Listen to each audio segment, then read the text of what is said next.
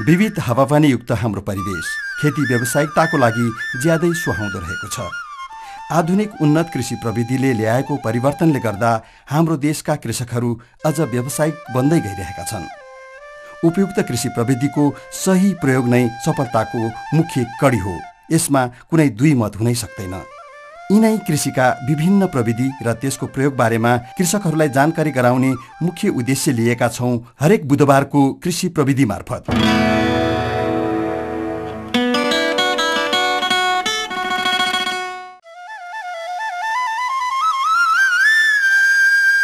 नेपालको सुदूरपश्चिमाञ्चलको एउटा जिल्ला बैतडी। खाद्य सङ्कटको समस्या भोग्दै आएको यो जिल्ला विगत केही वर्षदेखि कृषि व्यावसायिकतामा राम्रो सफलता प्राप्त गर्दै आएको छ। यसका लागि गैर सरकारी संस्था सिप्रेट र जिल्ला कृषि विकास कार्यालय बैतडीले उन्नत कृषि प्रविधिको प्रसार तथा प्रयोगलाई निरन्तरता दिँदै आएको छ। यसैको सेरोफेरोमा आजको हाम्रो प्रविधि र प्रयोग विशेष कार्यक्रमलाई केन्द्रित गरेका छौँ। जिल्ला कृषि विकास कार्यालयले कृषिमा व्यवसायीकरण गर्दै सिपमूलक तालिमहरू प्रदान गरी सम्भावनाको आधारमा उपयुक्त प्रविधिको प्रयोग गर्दै खाद्य अभावको समस्याबाट गुज्रेको बैतडी जिल्लालाई आत्मनिर्भर बनाउने मुख्य उद्देश्य लिएको छ। सिपमूलक तालिमहरू हामीले किसानहरूलाई दिने गरेको छौँ। उदाहरणको लागि मौरी पालन तालिम तालिम च्याउ उत्पादन तालिम र अर्को एउटा हो कार्यक्रम त्यो भनेको जिल्ला प्राविधिक सहयोग कार्यक्रम जस अन्तर्गत जिल्लाका विभिन्न गाविसहरूबाट आवश्यकता अनुसारको सरसल्लाह सेवा सुविधाहरू प्रदान गरिरहेको छौँ। यस प्रकार यो जिल्लालाई खाद्य सुरक्षामा आत्मनिर्भर बनाउने व्यवसायीकरण गर्दै जाने र सिपमूलक अभिवृद्धिहरू गर्दै गएर जिल्लालाई एउटा कृषि विकासमा सम्पूर्ण विकास गर्ने हाम्रो लक्ष्य रहेको छ। यो जिल्ला खास गरी फलफुलको लागि प्रख्यात जिल्ला भएको हुनाले यहाँ उन्नाइसवटा नर्सरी स्थापना भएको छ। र उन्नाइसवटा नर्सरीबाट बिरुवाहरू लगभग बाह्र पन्ध्र जिल्लामा यहाँबाट वितरण भइरहेको छ। जसबाट सरदरमा कुरा गर्दाखेरि एउटा नर्सरीले डेढ लाखदेखि लिएर दुई लाख रुपियाँ कमाइरहेको छ र यो यो हिसाब एउटा चाहिँ यो नमुना हो। त्यसै किसिमबाट आलुको लागि यो पोकेट हो तरकारीको बिज वृद्धिको पोकेट हो र किसानहरू ज्यादै प्रभावित भएको छ ज्यादै आकर्षित भएको छ र उनीहरूको जीवनयापनमा पूर्वको भन्दा अहिले सहज भएको छ। जस्तो उदाहरणको लागि हाइब्रिड टमाटरको बिज वृद्धि हामी यहाँ चलाइरहेको छौँ। जुन चाहिँ यो देशमा मेरो विचारमा नौलो प्रयास हो किसान स्तरबाट।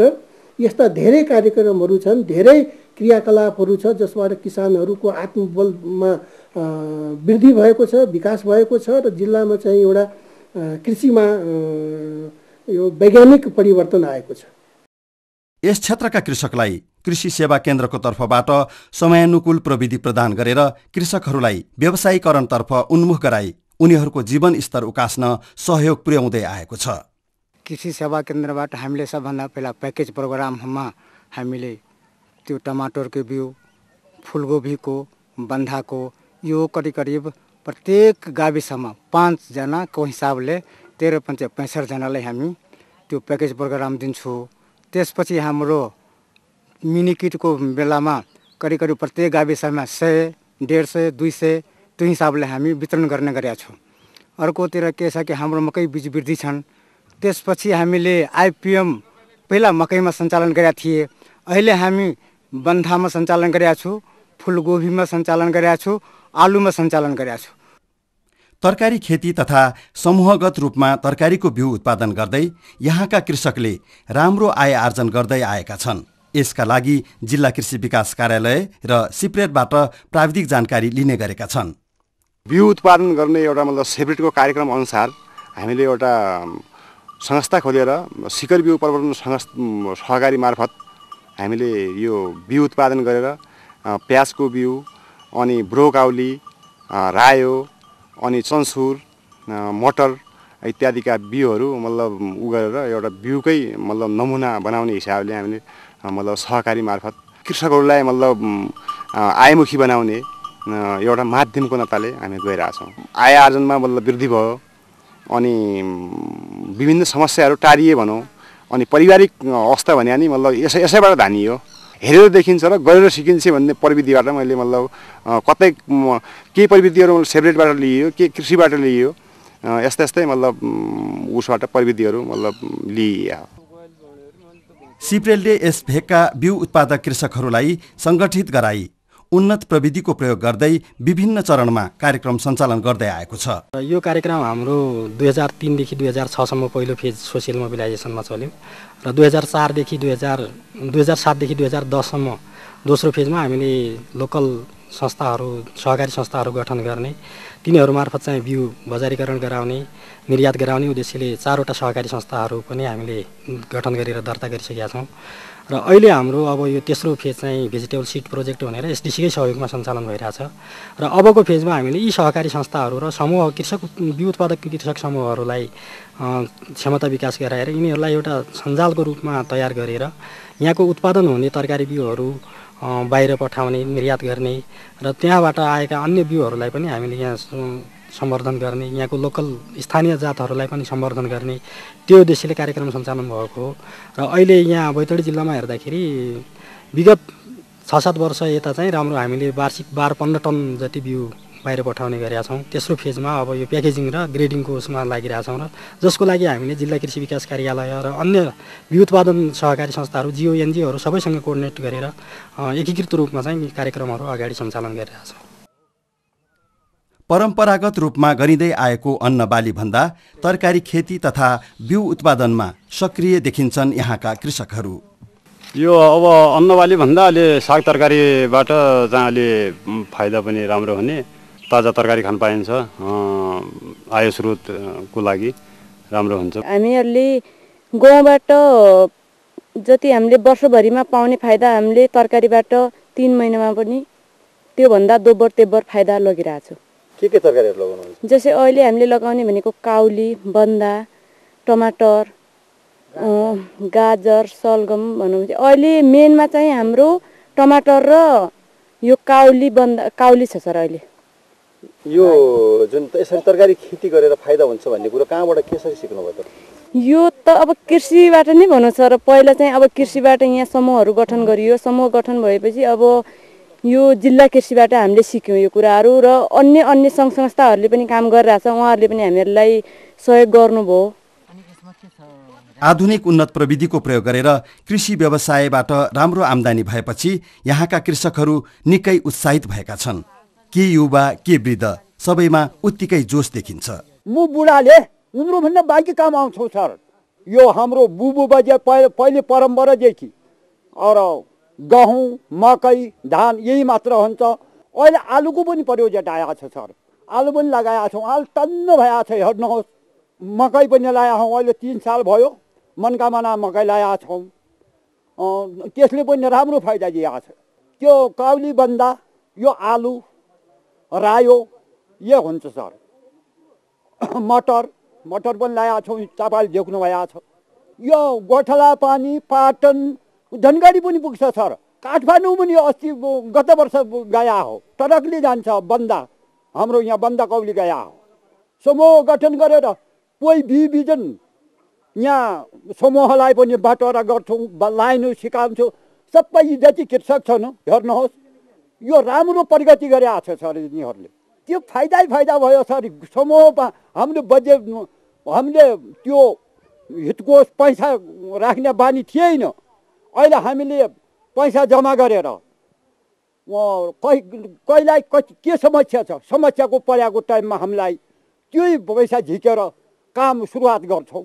कोही महाजन सेठसँग हामीले हात थप्ने काम पर्दैन। कृषि प्राविधिकहरू कृषकको घर दैलो तथा खेती गरिएको स्थल पुगेर उनीहरूलाई प्राविधिक सल्लाह सहयोग दिँदै आएका छन्।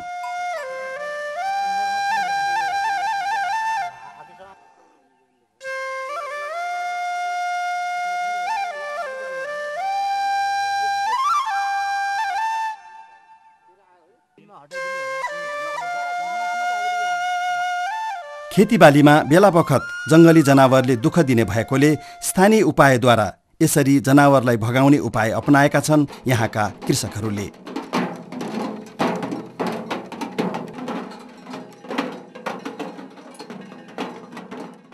जिल्ला कृषि विकास कार्यालयले स्थानीय माटो तथा हावापानी सुहाउँदो बाली प्रविधि बारेमा कृषकहरूलाई सेवा प्रदान गर्दै आएको छ र यसका साथै बेला बखत तालिम समेत प्रदान गर्दै प्राविधिक रूपले कृषकहरूलाई दक्ष बनाउने आफ्नो प्रयासलाई निरन्तरता दिँदै आएको छ। यो क्षेत्रमा हाम्रो यो आलु पकेट हो र अहिले हामीले तरकारी प्याकेट पनि यसलाई फेरि चेन्ज गरेका छौँ र यसमा अहिले हामीले तरकारीको बिउहरू अनि च्याउको च्याउ उत्पादन च्याउ सम्बन्धी पनि तालिम र बिउहरू र त्यसपछि माउरी घार र खाली घार दिने गरिरहेछौँ र अहिले बिजवृद्धिमा यो साल हामीले गहुँमा पनि बिजवृद्धिमा एक हेक्टरमा दिने भनेर यहीँ देखि पनि रहेछ यो कालो जतिको सबै दौलुके बाह्र सय चार। त्यसबाट कृषकहरूमा कस्तो परिवर्तन आएको पाउनु भएको छ अब हामीले उहाँहरूले आफूले गरेको भन्दा केही परिवर्तन हामीले राम्रै पाएको छ सर। किनभने उहाँहरू हाम्रो कार्यक्रमदेखि झुकाउ बढी देखिया छ। र हामीसँग जति सम्पर्कमा पहिला हुनुहुन्थ्यो त्योभन्दा बढी अहिले हाम्रो सम्पर्कमा हुनुहुन्छ। किनभने हामीले त्यो कार्यक्रम दिँदाखेरि किसानहरू एकदम हामीप्रति झुकाउँछन् र उनीहरू जे हामी केही पाएका छौँ र केही हामीलाई तालिम भनौँ अब यस्तो किसिमको सुविधा पाएछौँ भनेर खुसी भएछन् कृषि व्यावसायिकतातर्फ उन्मुख यहाँका कृषकहरू जिल्ला कृषि विकास कार्यालय र सिप्रेटले दिँदै आएको सहयोगबाट सन्तुष्ट देखिन्छन् र यसबाट राम्रो आम्दानी गर्न समेत सफल भएका छन्। उद्देश्य सर यो अब एउटा व्यावसायिक उद्देश्य नै गरौँ भनेर त्यही हिसाबले गरे हौँ। हामीले यो सानोतिनो त अब बाहन्न त्रिपन्न सालदेखि गरे हौँ।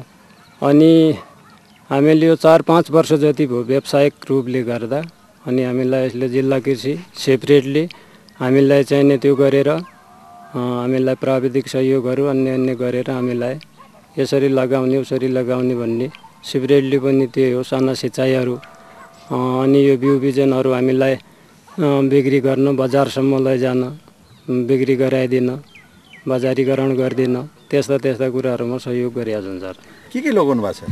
अहिले छ सर यो केराउ छ पालङ्गु छ चन्सुर छ अनि नेथी सुइचाड अहिले यो छ सर। अरू हामी वर्षेतिर पनि लाउँछौँ बन्दा काउली भान्टा भेडे खुर्सानी पिरो खुर्सानी।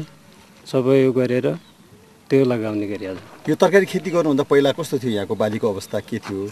बालीको अवस्था पहिले त्यही हो सर गहुँ र मकै लगाउने थियो यहाँको। अब अहिलेको हामीले जस्तै एक रोपनीमा हाम्रो अहिले एक रोपनीमा बिस पच्चिस हजार तरकारीबाट आउँछ भने एक रोपनीमा मकैबाट हामीलाई दुई हजार पनि आउँदैन थियो।